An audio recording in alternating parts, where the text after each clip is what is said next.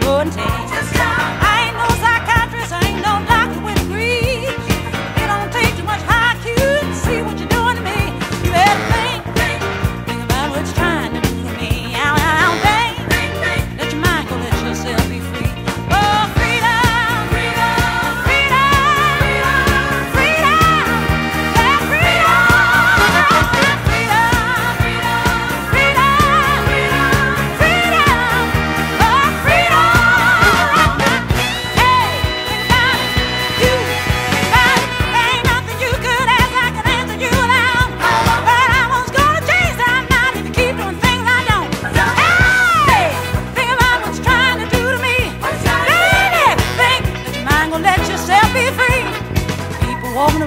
every day playing games and trading scores, trying to make other people lose their mind. Well, be careful you